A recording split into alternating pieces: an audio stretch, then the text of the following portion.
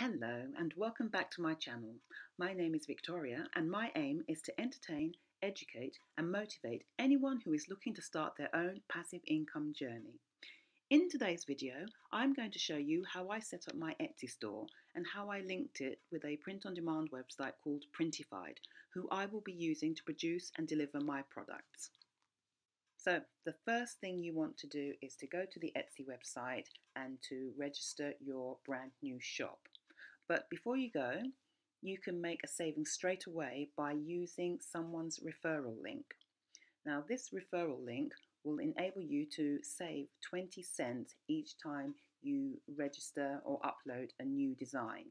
It costs 20 cents to list your designs and by using a referral link you'll save by getting 40 free listings and the person whose link you use they will also get 40 free listings. So if you would like to make a saving straight away, please consider using my referral link in the description below. Um, I did the same thing. I went to a website or I was watching a YouTube video by a woman called Anne and I decided that her video was very valuable and I used her referral link to get my free 40 listings. And so she was able to get the same too. So once you click on my referral link, you will go and start to register for your brand new shop.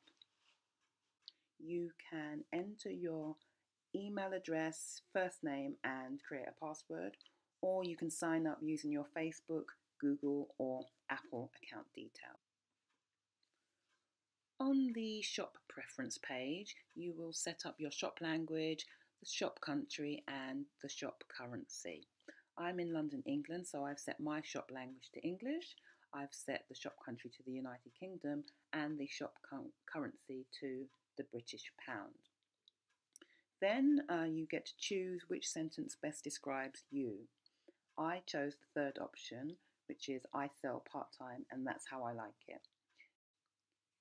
Once you're happy, click Save and Continue. And then it's time to choose your name for your shop. Type in the name you've chosen for your shop and click Availability.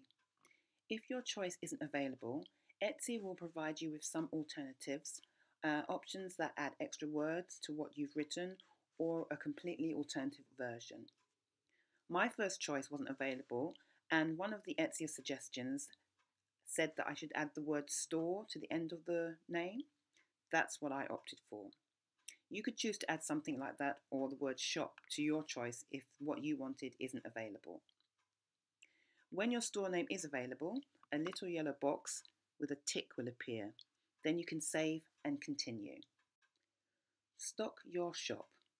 The next page is where you can add your designs and upload your products. Now this is what you would do if you were producing your products from home and sending them from home. But as I am using a print on demand store, I actually need to set up that website and link it to my Etsy store. And so that's what I'll show you in my next video. I hope that this short video has shown you how easy it is to set up your own Etsy store. And the great thing is, is that you can set it up completely free. If you found this video helpful, please tap the like button and think about subscribing. Thanks for watching and I will see you in the next one.